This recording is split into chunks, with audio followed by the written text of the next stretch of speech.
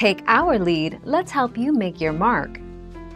Our goal is your satisfaction. Let us show you the way. The wolf teeth are small, often pointed or peg-shaped. Teeth that grow just forward of the horse's first premolars. While tushes are usually only seen in male horses, wolf teeth are common in both males and females. These teeth push through the gums when the horse is between 5 and 12 months old.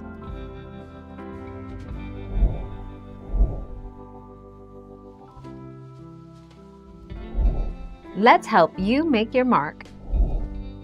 Adult gray wolves have an impressive set of teeth, and their jaws are incredibly strong.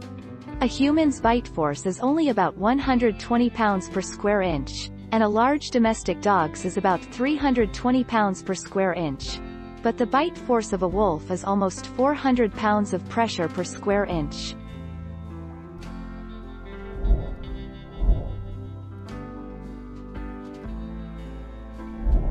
Let's help you make your mark.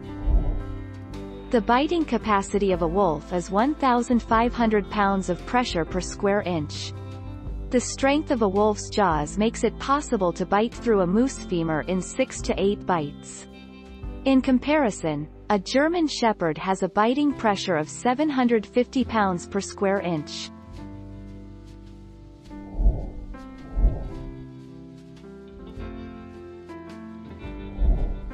Take our lead.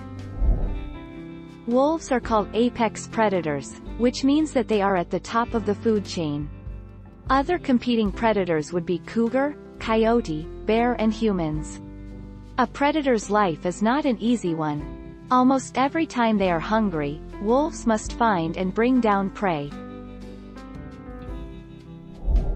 Thank you for watching. Please subscribe and hit the bell notification.